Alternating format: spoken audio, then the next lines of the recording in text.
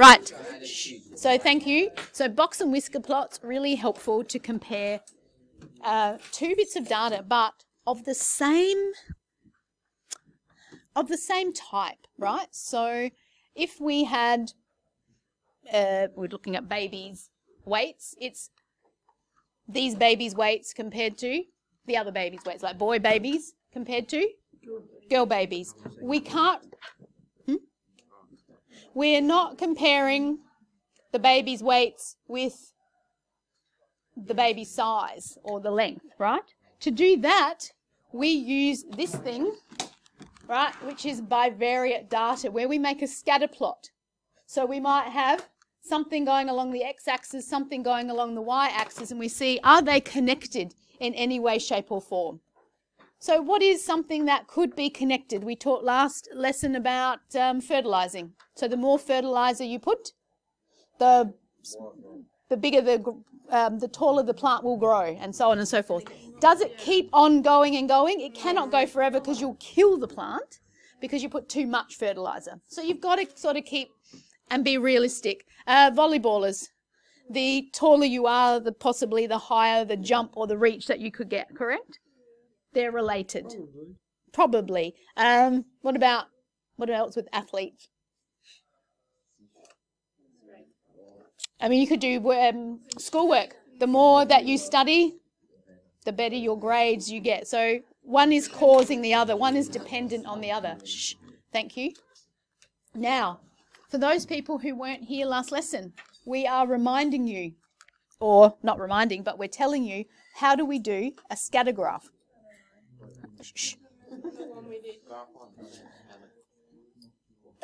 We appreciate that, look at this massive formula. Those of you who continue to annoy me, I'm going to make you work this out.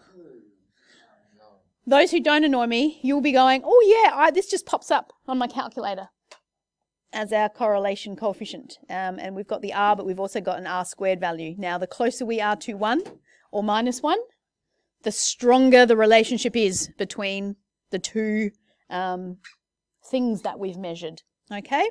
Um, just because one's negative doesn't mean it's a bad thing. It just means as something increases, the other one will decrease, as opposed to both of them are increasing. But all good, all good, all good. Um, obviously, if it's eh, random, no correlation. So you can look at this and you can then give it a rating. Oh, very strong. Strong. Feels like I'm talking about tea. Moderate. Weak weak tea. That's like you just wave the bag over your hot water. All right. Anyway, how do we pop this into our calculator? So, oh, father son. So the son's height, is it related to the father's height? We could do our own little experiment on that. But anyway, so how do we pop this into our calculator? For those people who weren't here, who's going to suggest what we do? And I'll repeat it into the microphone. Unless Noah, you could grab the mic and pass it along. You want to tell us how we do it? You don't know. All right. So we've got a don't know. We go to our calculator. Where are we going to go? We go into stats. So hopefully by now we're going menu. And even though, yes, we could put your arrow key across, we're getting used to using our shortcuts. So we press number two, two, two, two, two. Okay, we put our list, our data in list one and one in list two. Now, when you already have data here, you're better off deleting the whole lot just in case it keeps on going and you, you know, so see what I'm doing? I went more, delete all. And I hope some of you are now just rolling your eyes because you go, I know how to do this now. And they're not so scary, these calculators. All right, so back to our book. And because I can't keep them both up at the same time, we're just going to type I might make my own up, really. 175, 183. Let's see how good I am. Who's got their book open? 175, 183. You don't have to listen to me here. I'll just, that's to the video I'm talking. Sorry, video, you will have to, because when I pause it, the um, where I enter goes right over where I have to record. So bad luck. You can just skip along. 183, 170, 167. I'm just going to put the first four in because I've lost all feeling and caring about putting these in. and people at home don't want to watch me put all of them in, but let's assume that I have. 167, 178. If you want to put them all in, you can, but you'll see in a minute, this is not rocket science. 167. Uh, 178, 158.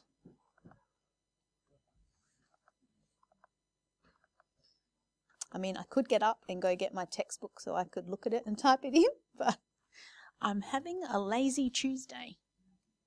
Please join me. Yeah, we are having a lazy lesson. I don't think you have to write too much at all. Uh, no, it's not your room. That was a, can he put his feet up? Oh, actually, JP, if you just turn that chair around, he could. All right, so if you haven't finished typing in the data for list one and list two, that's okay. You can stop. As long as you've got an even number in both. It's not going to like it if you've got something here um, in five, but you haven't got a matchy-matchy in list two. Okay, so everybody good? You could make up data, I don't care. All right, Maya, do you remember what we do next? We are trying to graph it, absolutely. So shall I just, we go to graph? And then can I, good! Before you just press graph one, you have to set it. Now, what type of graph are we wanting? Right, not a median box, so we have to go down, change it, scatter. Yep, and we want our X data in list one, and we want our Y data in list two. Okay, um, what did we learn last time? You could, if you wanted to, scroll down and you can change your little mark type here. Uh, who was it? Zara, was that you, Zara? That changed all the colours of all of them. It's like, wow, I couldn't do that. That's so very good. So feel free to play around with your calculator. Anyway, we press exit. You press graph. Now remember, you're going to have more dots than me, possibly. Is everyone happy that they've got dots there? Okay. What we are trying to do, I'll just pause. What we're trying to do is get a line of best fit that goes through as many of those dots as possible because then we can use it to predict or find out um, other things. So if I then go, oh, what is the temperature after 20 minutes? I can actually pop that into the equation of the line that I have. Does that make sense? Now, what we said last time is we could do long-winded and try and pick two points on the line, work out the slope, find the equation of a line. But guess what? Our calculator is going to do that for us. So we go calc. We want a linear model, so I press F2. It asks us, how do you want the line to be written? I'm just going to choose the first one, F1.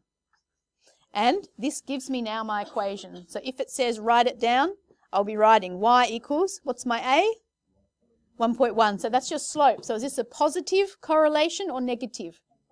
Positive, it's increasing. And your B value aka your y-intercept, is minus 34. Now, here's your r. See how it's 0.9? Yeah, yours is going to be different because you put more data in. I only put 4 I was a slacker. So, see here, you've got your r value. The closer that is to 1, the stronger the correlation is. So no formula for us, we just read it off our calculator. We've got two buttons here.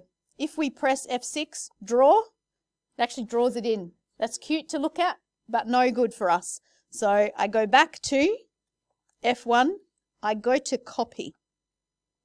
And you can see it takes me to my graphing function. Now I've got a few graphs there, but anyway, I'm going to overwrite. If I didn't want to lose these graphs, I could use my arrow keys and go down to a spare spot. But I really don't care if I lose these graphs. Oops. So I just pop it in there, Seems like nothing's happened. Go back to our graphing menu and hello, there she blows.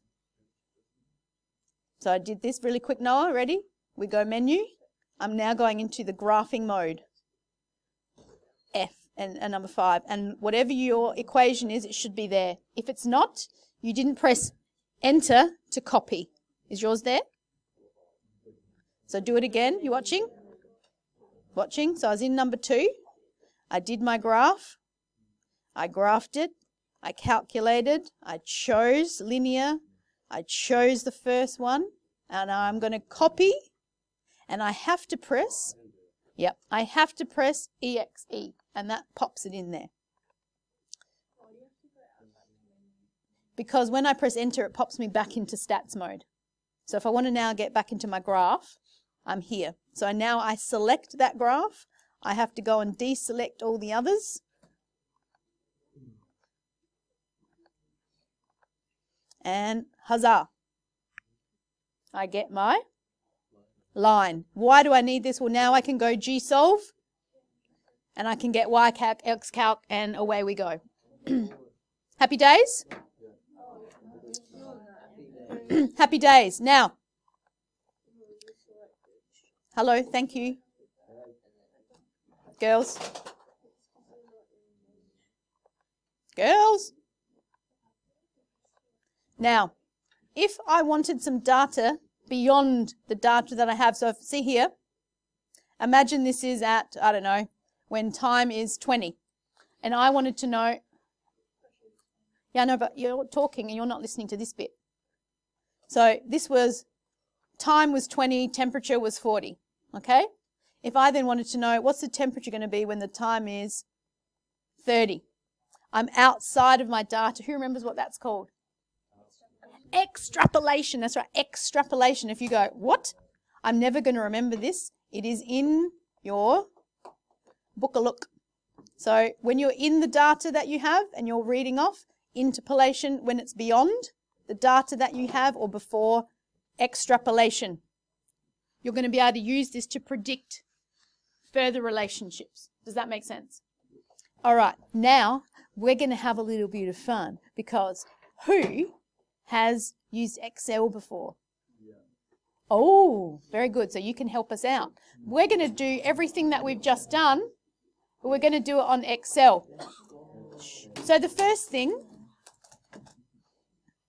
the first thing can I ask you to do, and some have already done it, which I appreciate. Can you go to Daymap and can you click on this baby data and you should get this Excel spreadsheet that has this data in it. So I'll give you a couple of minutes just to, first of all, when you opened it, it would have had it here, soccer, but if you click on the tabs below, um, you can see that you can add more sheets. I've already got sheet three open.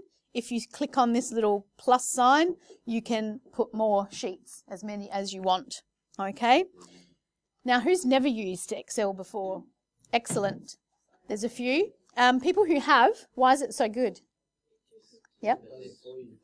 It said, so people say it does it for you. Yep, it is actually.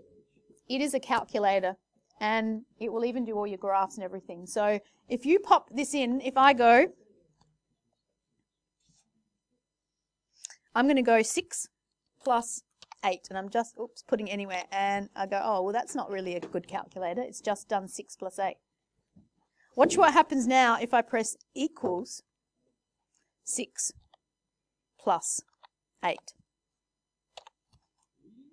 It actually works it out for you, right? So an equal sign tells the little cell, work it out, please. But, you know, being me, I've changed my mind and I don't want to go 6 plus 8 anymore. I now want to make it 10 plus 8.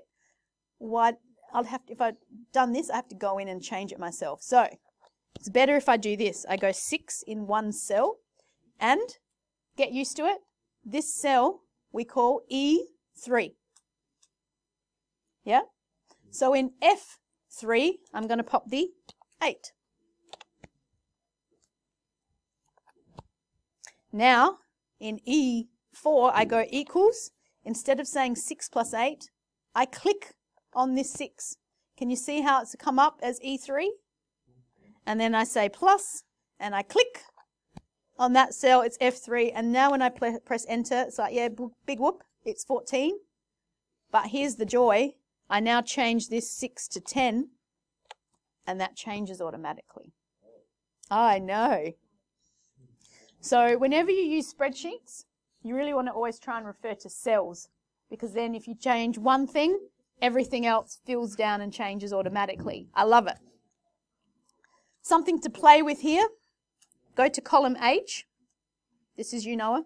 go to column H and we're going to go 1 and then 2. So, as Ella just said, now be careful because you've got to listen to this. You highlight the pattern. So I'm highlighting 1 and 2. So I've got 1 and 2 highlighted. See how it's a white cross here? If I move it to the corner, you can see that it changes to a black cross. Right? White cross, black cross. Right? Hold your mouse button down and drag. Oops, I didn't do that nicely. Undo, Control Z. All right, drag it down and it will automatically copy. Right, because you just highlight, if you did 1111. So watch what happens. If you do 1, yep, watch. If you do 1 and you do 2 and you just highlight 2, you haven't highlighted both, this will now just copy down 222. Right, if you do, you didn't highlight both because it would have done it otherwise. You've just done one and you've pulled it down. So you've got to highlight the pattern. Shh. It doesn't just do it for 1 and 2. Check it out. It could be 5, 10. Right? Highlight the pattern. Scroll down. And you've got it.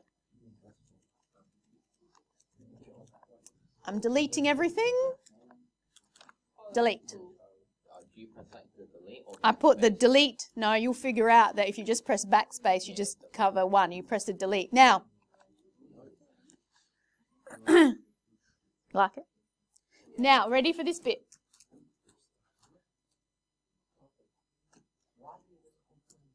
Last bit. Hello?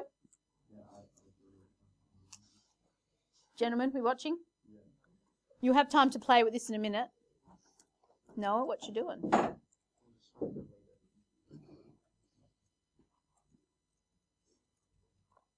Alrighty. Um, now let's take our, you got 10 and 8 somewhere there, so in E3 and F, uh, F3. So, now I have to wait again. Alright, once again, I want to do 1, 2, 3 down the page, but I'm just going to change it up a little bit. So I'm going to put here, I'm going to put with a 1, and then underneath I'm going to say equals this, and I'm going to say plus 1, and press enter. So I'll do that again.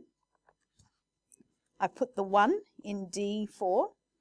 Underneath it, I've gone equals, and I've gone the cell above it. So I've clicked D4 plus 1. Enter. So I've got D4 plus D1.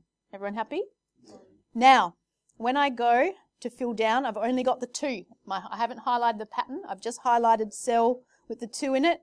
White cross to black cross. Fill it down. And, what, and yeah, you go, yeah, big deal. You've got one, two, three. But look at the formula. See how it's now D5? And I scroll down. It's now D6, D7, D8, and so on. Yeah? Yep. So when you fill down, it actually copies and it increases D4, D5, D6, D7, and so on. So what I now want to do in this cell here, I want to add 10 to every one of these. So I'm going to go equals this cell here plus the 10. Enter. Now, when I fill down, this time, it's not going to go well because I didn't keep adding 10. Look what happened. So here, I've gone. So you might have to look at the board for this bit and then you can play with yours. You've got D4 plus E. Hang on. And then this one, it's gone D5. So yes, I want the 2, but I don't want to add. What's it adding? It's adding on E4. I want it to add on the 10, E3. How do I make it just add this on and not keep filling down? It is magic. You come up here and in front of the 3, see how it's got E3? I'm going to ask you to put a dollar sign.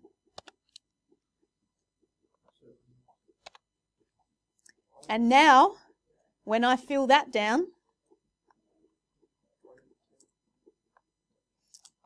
can you see my formulas now? So look up here in this cell. The E3 does not change. See how it stays as E3? So the dollar sign says don't keep going. Three, four, five, six, seven, eight. It stops it. Whereas there's no dollar sign in front of that 4, the D4, so that keeps going. D4, D5, D6, D7, and so on. You can fill down, you can even fill across. So if I fill across, instead of going D, who thinks what that, what's going to be there? Instead of D, it's going to be E and F and G and so on. So your spreadsheets, you got music? Play nicely. Your spreadsheets are groovy little suckers. So sometime this lesson, I've got five more minutes that I'm going to jabber jaws and then you can play with your spreadsheets. Can we click onto babies? Oh, sorry. By the way, with spreadsheet um, down here, your right click is your bestie. So you right click and you can change the color. You can even rename it. Okay? So do that when you feel like it. All right, let's hit babies. Hello, babies.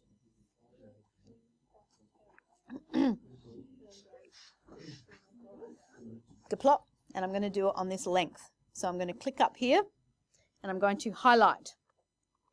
So hold your shift key down or whatever, however it floats your boat. Highlight that column.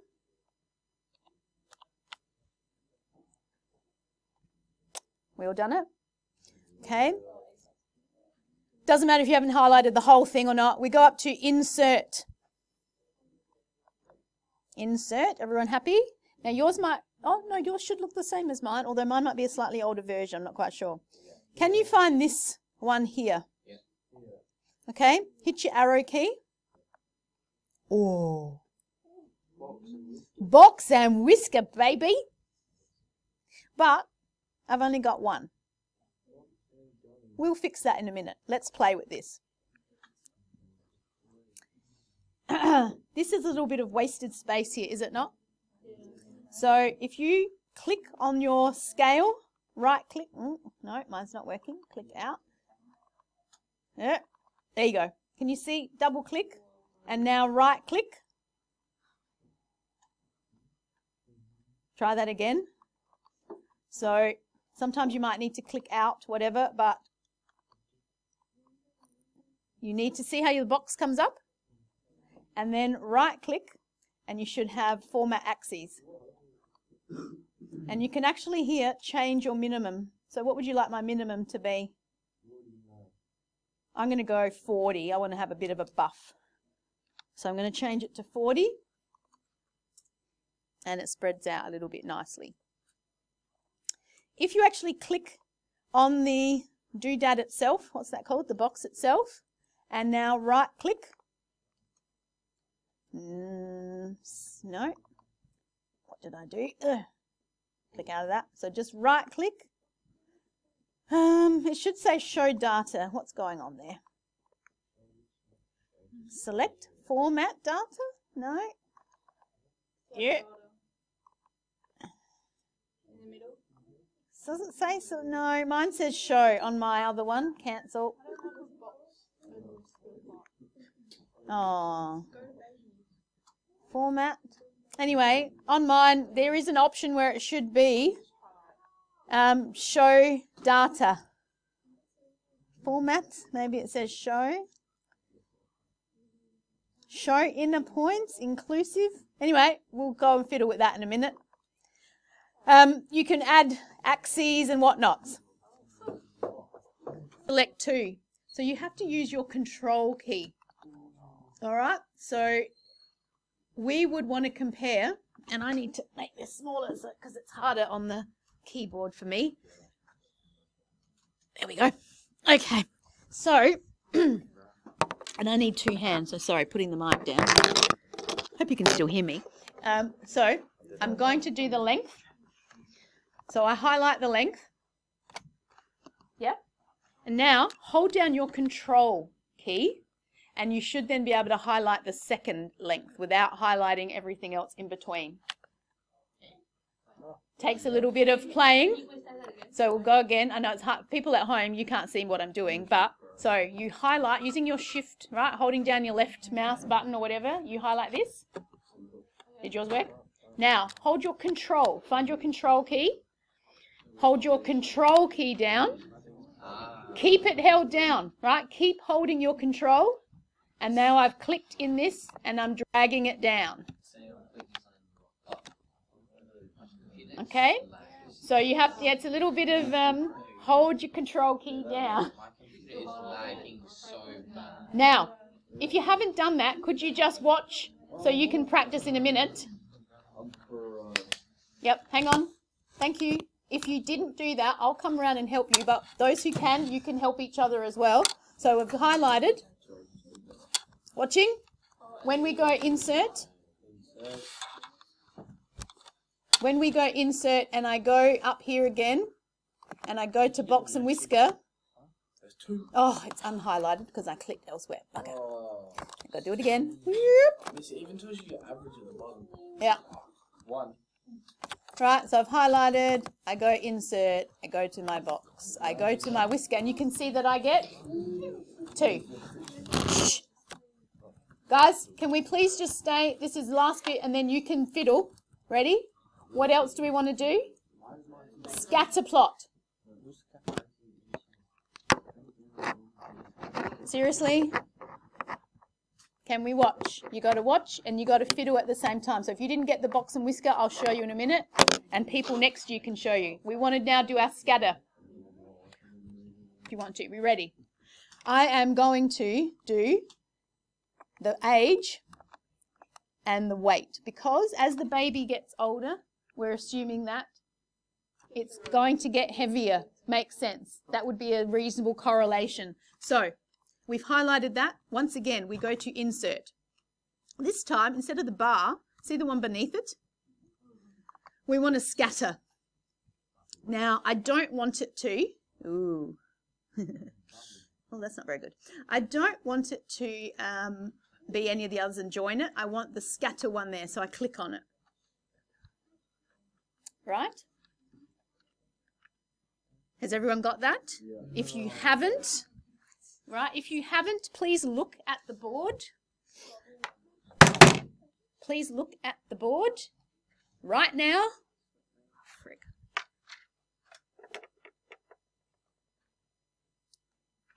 If you haven't got it, look at the board and you'll be able to do this, or you can look back and I'll help you again. But looking, got this? You click on one of the data sets and you'll find, so I did with my uh, left mouse key, I click and can you see how they've all highlighted?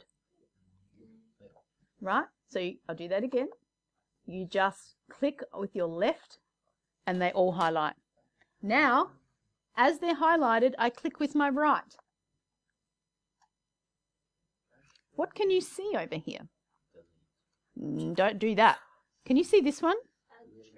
What do you think trend line is? The line of best fit. So if you click that, it draws it in. Now, there's more. Wait, there's more. Look on the right hand side. Yep. So you can see this has probably got a slight curve to it that you could even fit an exponential or whatever. But we're going to stick with linear. That's all we have to worry about for now. But look down here.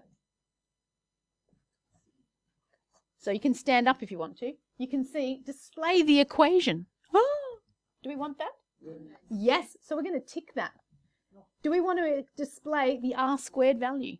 What's that about? The closer it is to 1, the stronger the correlation will be. So why not? Let's click it. Correlation means the connection between the two. Right? So if there's a strong correlation, right? If there's a strong correlation, it forms pretty much a straight line or a line. If it is like random and there's no pattern, right? A little bit random like this, that's a weak correlation. Okay, it's positive because it's increasing, it's negative if it's decreasing. Anyway, back to our spready sheeting. Say that carefully. Um, you can move that, click on that, and you can actually move it. You can format it, make it bigger, make it smaller, all stuff that you want to do, and you can add your axes and all that sort of stuff. Huzzah? So, what you're going to do is with your babies, you're going to play around. Oh, what? You're going to play around, you're going to make some stuff, you're going to see if you can make Don't make babies. I said that wrong. Do not. No making babies. No. You're playing around. Psst. For the rest of this week, for the rest of this week, you are then going to actually analyse. This is real data. This is from the FIFA 2018 World Cup. Um, I didn't get all of the players. I just took a selection. Um, I didn't. I just random. So we've got the goalkeeper, and we've got the midfielder, and you are going to do some analysis on that and write it up. So in,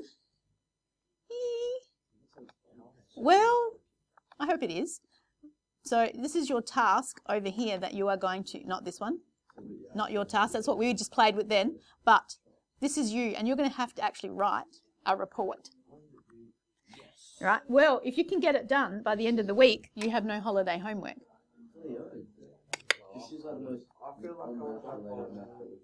Anyway, so as we get stuff, I want you to get used to using, so you're going to do it using your calculator, one box and whisker plot, and do it on paper. You are going to do one with the calculator, uh, calculator, the uh, spreadsheet, because I love spreadsheets, and I'll help you format and whatever.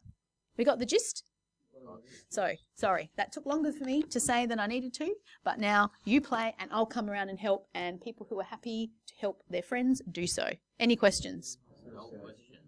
But this thing here in the blue is basically what you will have to do. Give me a um, written report. And there were actually, would you believe, they broke it down into uh, there was goalkeepers, midfielders, forwards. There was one other one. Could be defenders. You will be handing it up, yes. Now, someone just said when, when you had already asked when. And this is what just you did. We said, when is it due? And I said, if you do it by the, no. Correct. If you can hand it up by the end of this week, that's great. Otherwise, you've got holiday homework. So, So it's see you next. correct. All right. Good luck. See you next.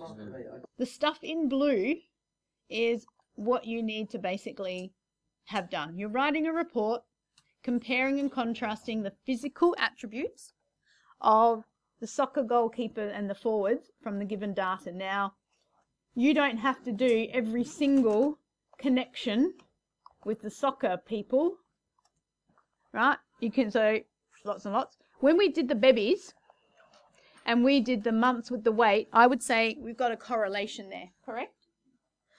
I think it would be sensible for you to talk about the fact do you believe there will be, predict, is there going to be a correlation between the age and the height of a goalkeeper? Why not? That was a no, by the way.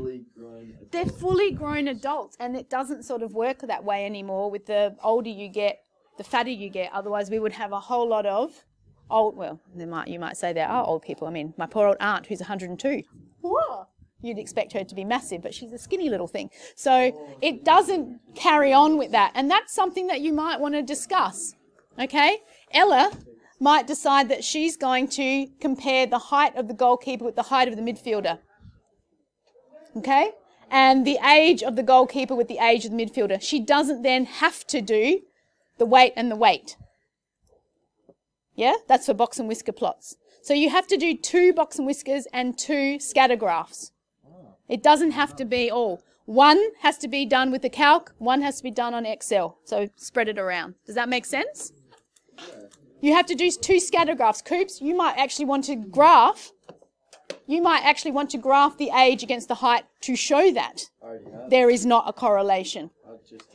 And then you have to talk about it, right? And it's not a five pages about, it's just a couple of sentences going why you got what you got. Does that make sense, Peeps? So this is not meant to be all encompassing, but it is going to take a little bit of time to, you know, format your graphs nicely, get to learn Excel. We good? Love you, goodbye. Do some work. JP?